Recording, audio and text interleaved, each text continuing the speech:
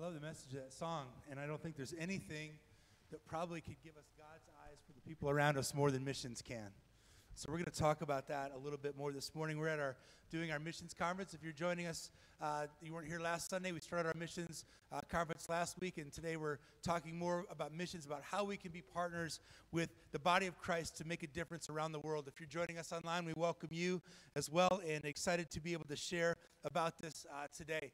And so, uh, if you use it, if you have your Bible and you want to turn to Second Corinthians chapter 8, you can do that.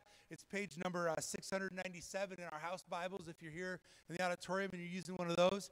And we'll get there in a minute. But uh, in uh, 2014, somebody pulled into a Starbucks drive through. Probably not an unusual activity, right? In St. Petersburg, Florida.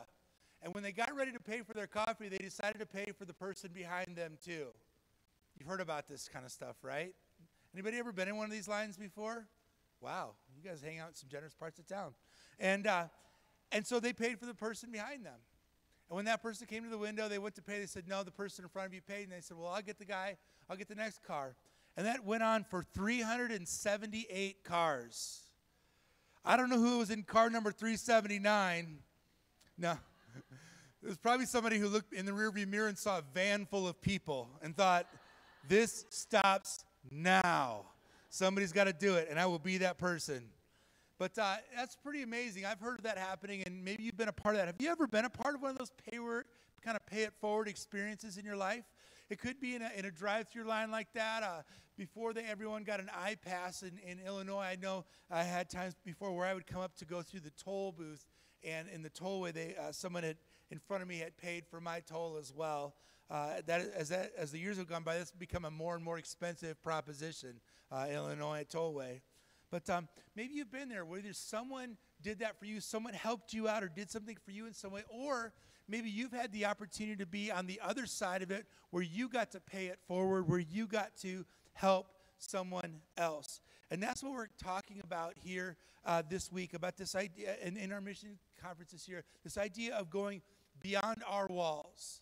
In other words, uh, taking something that's uh, outside of who we are, it's not focused on us. It's not about meeting our needs, getting our deal, doing what we want, but it's about how can we make a difference in the lives of somebody else, oftentimes in the lives of people that we'll never meet, that could never pay us back, that could never do any of those things. And so that's what we're doing. And so we do this every year, and we kind of go on, we're on kind of an October to October cycle with our missions giving. And when you came in, uh, today. If you're here in the auditorium with us, on your chair, uh, you'll find, you found a faith promise card, and I'll talk more about that in a little while. But that's what we do. We make a faith missions promise from October to October, and we go for it because missions to me is the ultimate pay it forward. Because if your life has been changed, if you're a Christian today, and your life has been changed by coming to know Christ, you, you would want to pay that forward to help other people share that experience and to have that same life changing moment with God. when you read the book of Acts, which is kind of a history of, this, of the launch and the starting of the Christian church, and really then after Acts, most of the rest of the New Testament is also kind of gives us a look into how the church formed and was started. There were times where I'm sure that the people who were following Jesus wanted to kind of I don't know if they wanted to quit, but they definitely probably wanted to keep it to themselves because they were being persecuted. They were being chased out of where they lived. They were being imprisoned. They were being beaten. Some were being put to death. And they probably had every reason in the world to want to kind of just like, stop paying it forward. Stop sharing this message forward. But they, when you read in the scriptures, what you find out is they would remember and Paul and other church leaders, the Apostle Paul would remind them about what Christ had done for them, and it kind of it compelled them. From the very start, there was pushback against the Christian church, and they would continue to go forward because of what Christ had done for them. Jesus said this in the Gospel of Matthew, chapter 10, verse 8. He said, Freely you have received, freely give. Freely you have received, now freely give. And that word freely there doesn't mean just without cost, like, you know, just it's free, but it means to give wide open, to not hold anything back. It's kind of, I guess, maybe like in the military or other, other circumstances where someone stands in front of their superior and they say, and they're asked a question, they say, permission to speak freely, which means what? Can I tell you what, uh, how, what thing, how things are really going? Can I tell you the truth here? Can I, or do I have to hold back? Do I have to kind of, and if, they, if they're given permission to speak freely, then it's like, here you go. And Jesus said, in the same way, freely you've received, now freely give. Don't hold anything back. Don't let anything hold you back from doing that. You know, one of our big core values here at Journey is generosity. We want to be a, a church that is generous. And I think that there's any place as a church and as Christians that we would want to be generous, it's in the area of missions. And here's why because it's not for us. If I stood up here and said, hey guys, we're going to have a building program, we need to raise X amount of dollars because we want to build a new building, that's awesome. And you guys are generous and you would give. You did that so we could get into this place. But here's what I know we would benefit from that, wouldn't we? Or if I said, hey, we need new, you know, we need recliners in here instead of regular chairs. Oh, should I start that GoFundMe right now? Uh, you know, or whatever. People would be like, yeah, that's great. Or, or other things that we could do, or, or when we invest. And, and, and, and that's, there's not anything necessarily intri- intrinsically wrong with that. But what I love about missions and why I'm usually more aggressive to, to ask, to challenge you to give when it comes to missions and other things is because none of it stays here. Every penny, not even every dollar, every penny that you ever give to this church that's designated for missions, 100% of that goes to missions. Nothing we don't we have no administrative, we have no overhead, we have no we don't take a percentage off. 100% of what comes into this church for missions goes out to missionary partners that we have. We believe in the, in the power of missions. And that's why I think it's the ultimate way that we can pay it forward because we, we you know, again, uh, you saw, you've seen video, you've seen pictures, you've heard stories about people in, here in our community or in other parts of the world. You'll never meet them. You'll never get a chance to talk to them. You'll never get a chance to hug them. You'll never get a chance for anything. But you know what? You are changing their lives through your giving and through your generosity, through your prayers, through your going. Um, and so I want us to look, so we can grab onto this, I want us to look at, at a letter that the Apostle Paul wrote to a group of Christians in the city of Corinth, which is in Greece, and encouraging them to be generous. So here's what it is. So Paul's written this letter. In our book, in our Bible, it's the book of Second Corinthians. But it was a letter that Paul wrote to a group of Christians that lived in a city called Corinth. And he's in his letter, and this is like, you know, like you're writing a letter, so you're just writing things that you want to, you know, communicate. And he says, I want you to be generous. And he wanted them to give resources, finances to help the church in Jerusalem because they were there. They were having to battle out. The persecution was heaviest there, and, and, and they were trying to really reach out, and there were some challenges there. And he said, I want you to give. And so to encourage them, as he after right after he challenged them to give, he wanted to encourage them, and so he he kind of challenged them. And so he started talking about the generosity of another church, kind of spur them on a little bit. You know what I'm saying? And, and uh, he reminds them of something. And here's what he wrote to them it's in uh, 2 Corinthians chapter 8, verses 1 through 3. And he says this Now I want you to know, dear brothers and sisters, that God, in his kindness, has done through the church what, the, what God has done through the churches in Macedonia. They're being tested by many troubles, and they're very poor but they are also filled with abundant joy, which has overflowed in rich generosity. Think about that. He said they're very poor, but they have abundant joy, and, the, and the, the overflow of their joy is rich generosity. He said, For I can testify that they gave not only what they could afford, but far more, and they did it of their own free will. So, to encourage the Christians to be generous in Corinth, Paul points out the generosity of these Macedonian Christians and uh, the church and the churches there. He's using them as an example of generosity. This morning, I was I was thumbing through Twitter uh, this morning, which I probably shouldn't do, but I was just doing it, you know, just what the world got to say. And I loved what somebody uh, shared a, post by a guy that I I just I've been learning more about. His name is Rodney Smith Jr. And a few years ago, Rodney Smith Jr. started a, a, an organization called Raising Men and Women Lawn Care Service. And he challenged young people, especially young people that, are, that may be in disadvantaged neighborhoods or in disadvantaged situations, to serve their community by going out and mowing the lawns of the disabled, of the elderly, of people who can't do it themselves, and doing it for free. And he's had young people all over America do this. And his, he has what he calls the 50 yard challenge. And when a young person, and I don't know where they get it, they borrow a mower, they do whatever they can, they go out, and if they, once they have mowed 50 lawns for free people who it for themselves, Rodney Smith Jr. or someone that works with them, but usually it's him himself, comes to wherever they live. He goes all over the country, does this, and gives them their own brand new lawnmower, trimmer, and leaf blower. and says, Here, listen, now you can continue to serve your community, but you can also go out and start mowing, maybe charging to mow some of the lawns and do whatever. But he is doing something because he wants to teach these young people, young men and young women all over. He's raising men and women leaders by doing lawn care.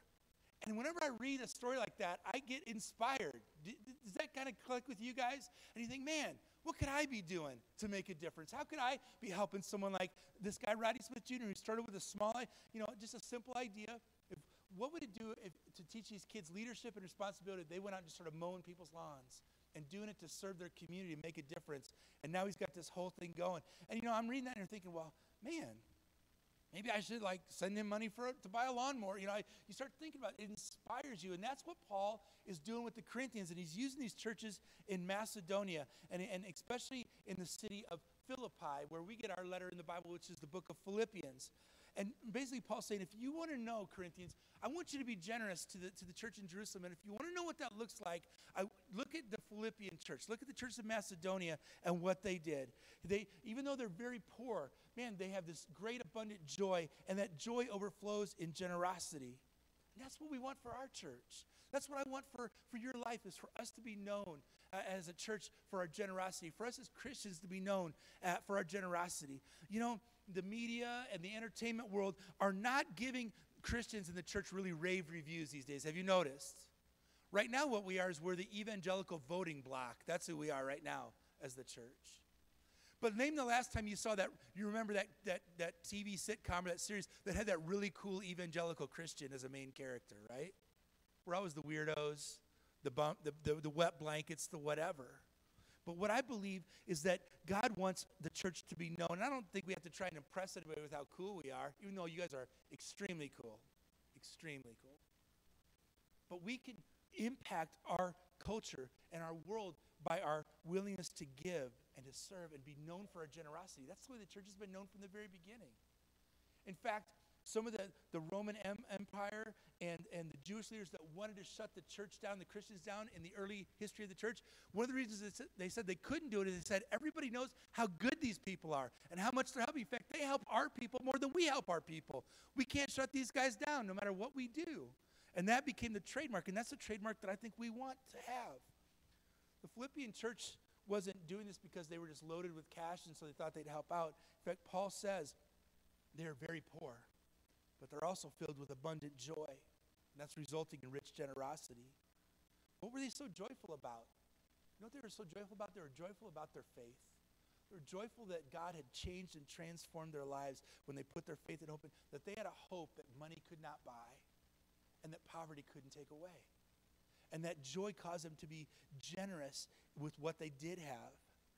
Some of you have experienced this because you've been on mission trips. You've been to South Africa, or you've been to some of these nations. You've been on uh, in, the, in, these trips, and you've seen people who, in our in our uh, material value system, we'd say they have nothing or next to nothing. But then when you look at the joy they have in their life, they're going, "Wait a minute! Why are these guys so much more joyful than my neighbors who live in really nice houses, and drive really nice cars, and take really nice vacations? What's the deal?" What's changed? What's transformed? What's caused that to happen? You know, when we were in South Africa or earlier at the beginning of this year, and Dr. Blessman, when I've told people we were there at the end of January, it feels like five years ago with everything that's like the last six months have been a long decade, right? But when we were there, you know, and you can see there's, uh, you know, Nell's up there putting a, uh, the roof on, on the school, and you can see uh, us working on uh, the house that we worked on. And you can see some of the kids in the neighborhood, and you experience the joy that they have. And you go, you know what? whatever we have, whatever we can give, it's worth it because it's making a difference. Paul said this. He said, they, he's talking about the, the people in Macedonia, especially the church in, in Philippi, the Philippians. He said, they gave beyond what was comfortable, they gave sacrificially. They gave what they had. And this would have had a huge impact on the Corinthian church. And here, let me tell you why. Because for a number of reasons, see, the reason that there was a church in Corinth in the first place is because Paul went there as a missionary and started that church. There were no Christians in Corinth until Paul shows up. And he starts and he leads this movement. And now there is this church, and he's writing them letters, and, and he's saying, you need, to be, you need to be generous like the Philippian church was. And you know why that would have meant so much? Is because the reason that Paul ended up in Corinth is because the Philippian church sent him there. They gave generously, and that allowed Paul to continue to travel, and he ended up in Corinth. The Philippians had paid it forward. Someone had sent Paul to the Philippians, and now they were sending him forward, and he ends up in Corinth. Look what it says in the, in the letter to the Philippians. I'm going to read a few verses to you here. It says this How I praise the Lord that you are concerned about me again. So he's writing to Philippians. He's not asking him for anything, he's giving him thanks. He said, I know you have always been concerned for me, but you didn't have the chance to help me. Not that I was ever in need, for I've learned how to be content with whatever I have. I know how to live on almost nothing or with everything. I've learned the secret of living in every situation, whether it's with a full stomach or empty, with plenty or little. For I can do everything through Christ who gives me strength.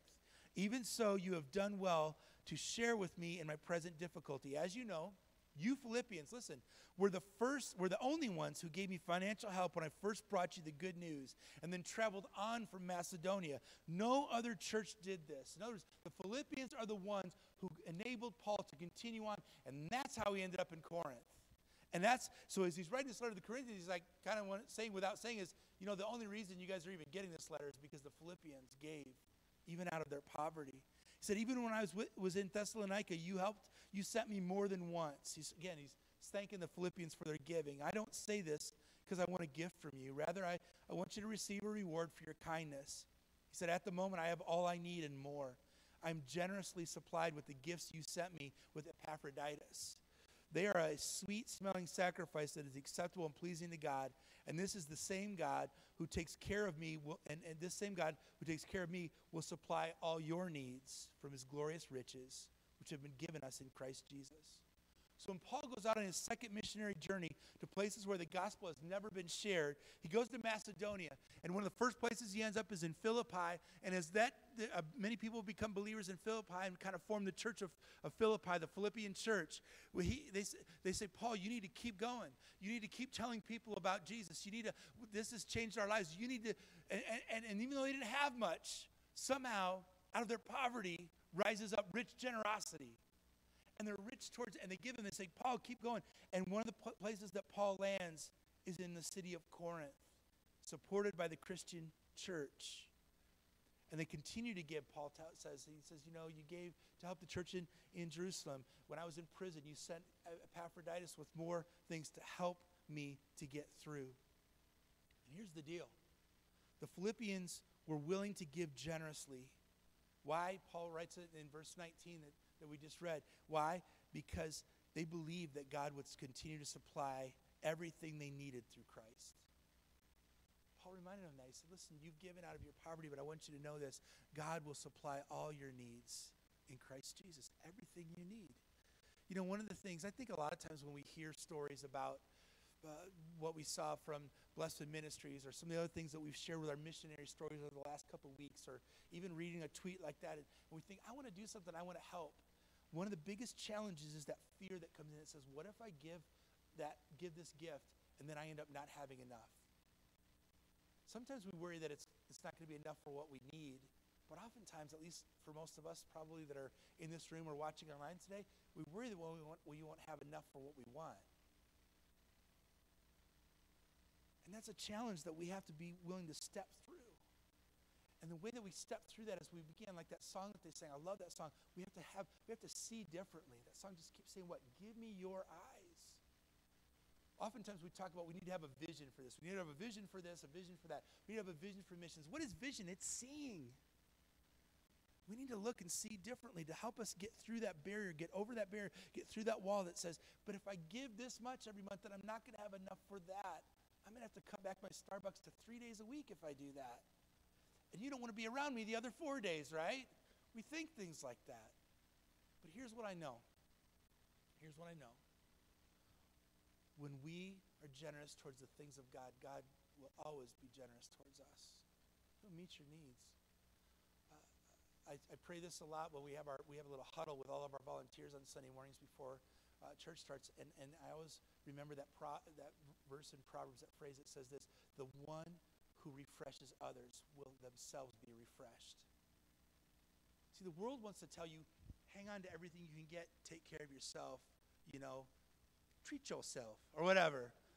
That was, that was for all of you Parks and Rec people out there or whatever, right? The world says what? Treat yourself. And what, is the what does Christ say? Give yourself away and watch what happens. Some of us have done both things. We've gone through seasons of life where we have treated ourselves. Then we've gone through seasons of life where we've given the way that Christ and his and his uh, script and the scriptures tell us to, and we've found so much more joy there than in the treat yourself seasons of life. It's amazing. It's amazing. Because the Philippians were generous, Christianity and the church were established in Corinth, but that's not where it started. See, the reason that, the, that Paul showed up in Philippi and in Macedonia was because another church that was in a place called Antioch had sent them out in the first place. In Acts chapter 12, it says this One day, as these men were worshiping the Lord and fasting, the Holy Spirit said, Appoint Barnabas and Saul for the special work to which I have called them. So after more fasting and prayer, the men laid their hands on them and sent them on their way. The reason that Paul ended up in Philippi is because someone in Antioch had sent him out in the first place. Antioch was one of the first churches with a large Gentile or non Jewish population. They sent out Paul and others who brought the gospel to a place in Macedonia called Philippi. And those new Christians in Philippi, despite their poverty, supported and sent Paul. So it's like this thing. You, you can start at Corinth and you go back up and go, how did, how did the gospel come here to Corinth? Well, a bunch of Christians in Philippi sent, sent somebody. Well, how did how in the world did there become a bunch of Christians in Philippi? Well, because there's this church in this place called Antioch, and they sent these two guys named Paul and Barnabas here. Well, how in the world did the Christian, the Gentile church even start in, in, a, in a place like Antioch? And he said, well, some people came from Jerusalem and told us about this man named Jesus and what he had done and how he died and rose again. I was saying, well, how? And you can keep going back and back and back, and you can find your way. But here's the deal: as much as you can go backwards, you can go forward. Because it didn't stop there in Corinth, did it? The church kept paying it forward. They kept sending people out to take the gospel where it had never been before. And here's the deal somebody told somebody, and that somebody else told somebody, and somebody told somebody else, and then that somebody told you. And that somebody told me. Unless somehow God came and personally spoke to you and you got here by divine revelation, you got here because somebody told you. Might have been your parents, might have been your grandparents, might have been a coworker, might have been a neighbor, might have been someone at school, might have been a missionary, it might have been a pastor, it might have been somebody you bumped into at a health club. It could be anybody, but somebody told somebody who told somebody who told somebody, and a couple thousand years later, someone told us. Someone told me. Someone told you. And that's why missions matters. And why giving to support missions matters. And I think it's our turn. I think it's our turn. Let me just review with you real quickly who are, and we'll wrap things up, our mission partners for this year. One of our mission partners and, uh, is Open Bible Global Missions, our MVP. Our church is a part of the Open Bible organization. Uh, presently, there are uh, we have mission works going in 46 countries of the world. We'd like to do that. We send missionaries, but we also are very focused on equipping local leaders. We want to have people who are native and indigenous to those countries and those populations. We want to train and develop them to reach their own people. Here's the cool thing we've been a part of, of giving to Open Bible Missions for the last several years. Here's what I want you to know. In the years 2018 and 2019, in that two year period, 872,432 people became followers of Christ through Open Bible Missions. Yeah, you should clap. Robert's like, should we clap? Yes, clap. Do it. 872,432 people because we, and we had a part in that. Someday in heaven, assuming you make it, no, I'm just kidding. You'll be there. You're gonna, you could bump into 872,432 people who might walk up to you and say, hey, thanks a lot for what you did. I'm here because of your generosity, because you paid it forward, because you gave, and I'm here. Last week, you saw some of those stories. Our uh, mission speaker, John Palmer, shared stories about lives. See, the thing is, that number is a great number, but every one of those numbers is a name. Every one of those names has a story. Every one of those stories matters to God. And you heard some of those stories last week. We're also partners with Blessman Ministries, and you heard our interview earlier with Dr. Blessman. You saw the video, and they do orphanages and church planting and other things in South Africa. A few years ago, as Dr. Blessman mentioned, we gave uh, money that built uh, some gr- a greenhouse over there that helps to, uh, in that feeding program, and helps to contribute to that 20,000 kids being fed weekly. Uh, Blessman Ministries provides shoes for kids that don't have them, optical clinics. They do celebrate recovery ministry to help young people who are who are addicted to drugs and alcohol and other things. They they get to go into the schools. Uh, I got the opportunity. They actually every day at a lot of the public schools they have an assembly in the morning. They gather a thousand students or however many go there in a big thing, and they let and they get up and the churches are able to stand up there and literally kind of do youth group with all the kids in the school and got an opportunity to do that and it opens doors to share the gospel. Another one of our partners you saw the video with jamel is the des moines dream center serving inner city neighborhoods here in uh, des moines through practical things like food and clothing and you saw their programs but also uh, their sidewalk sunday school and adopt a block. And, and, and, and he said this you can give and we can partner. Last year we they're one of our mission partners but also last year when we did our Thanksgiving baskets that we do every year, we got to, we, they gave us about I think I believe 25 or 30 households that we were able to go and take our Thanksgiving baskets to and pray with those families and bless them. Where uh, our, our fourth partner for this year is Kosovo, and uh, uh, about a, almost a year ago, 11 months ago, we became the first church here in Iowa to be, take on a sister church partnership with uh, the church. And if you were with us either online or here last week and you saw Pastor Femi Tsukoli shared about our relationship with them there. It's a young country. They've, they've only had an independent country for about 12 or 13 years. It's an amazing country, a couple million people. About 94, 95% are Muslim, but only 4 or 5% actually go to the mosque and practice it. It's, it's basically a secular society. But there's a, an opportunity for these churches to make a difference, and we heard about that.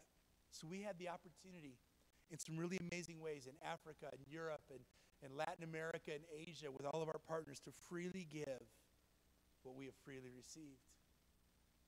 And that's what I'm asking you to do for this next year to decide to pay it forward, to invest in eternity by supporting our mission partners both globally and locally. So let me just ask you this question. Here's the big question is this What is God asking you to do to help the gospel journey beyond our walls? What's God asking you to do? Um, there's a faith promise card. Grab that. If it's on your chair or a chair near you, grab that. There's, there's two faith promise cards floating around here. One is a beautifully printed piece that we, that we ordered and got, but they put some kind of Teflon coating on it that you cannot write on. Uh, the other cards are the ones that are uh, homemade, but you can write on them. So hopefully you got uh, the, the, the, write on them uh, cards. I'd love you to consider what is it that God might be asking you to do weekly, monthly, annually from now until next October to give towards missions. You know, this summer we did we did the Proverbs of Jesus, and we talked about a, a proverb that really highlighted stewardship. We did our little stewardship project, and we gave uh, nine thousand about nine thousand dollars to uh, Starts Right Here, which was and we had such a great time doing it.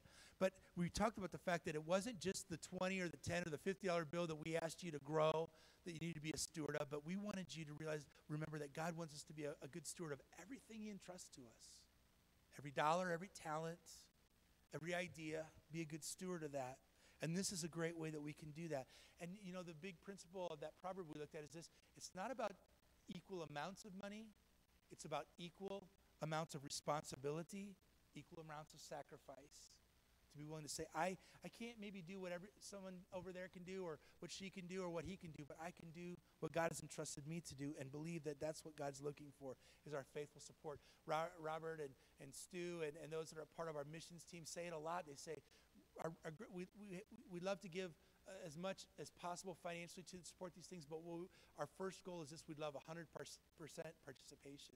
We'd love everybody just to do something to move to move missions forward this past Wednesday, I was so uh, excited to find out about this on Thursday. But on Wednesday, at our Journey students, our, our, middle school and high school students, they met, and uh, Cody talked with them about missions. And he said, "Hey, what if we did a missions project that we would raise money for as a student ministry? We'll find a project and we'll give money towards that." And the kids were like, "Yeah, let's do it." So we talked about it, and so he said, well, "Let's." I want everybody to kind of make a missions faith promise, kind of like what we're doing right here.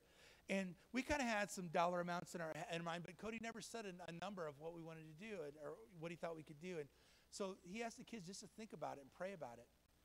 And they talked about it. Some of them said, Well, I got a job and I can do this. And other kids, Well, I do this, that, and things. And at the end of it all, they collected all the kids together, and their, their faith promises added up to $7,000. Now I'll tell them what we were thinking. We were, our goal was 2500 We're losers, Cody. But but we just said, you know what? We, we're going to do this. And so I believe God can help these young people do this, don't you? And I believe that God can help you if you want to make a difference. You know, and Cody just said to him, hey, you know, what, this is, if you gave up, you know, two Starbucks a month, you could give 10. He was just giving them examples. And they came up with these numbers on their own. And we're excited about that. But I believe that's a part of what God wants to do on a greater level here, even with us as a church. So I'll ask you again what is God asking you to do to help the gospel journey beyond our walls? Because here's the deal, you guys someone told someone who told somebody who told you.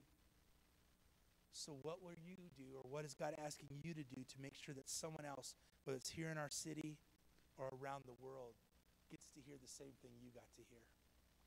I want to pray for you. And as I pray, I want you just to prayerfully consider that. Um, when we get done praying, and Cody's going to come and wrap us up, but as you leave today, uh, right by the, the door over on this side, there's a table and there's a basket there, and there's a place where you can drop your completed faith promise card.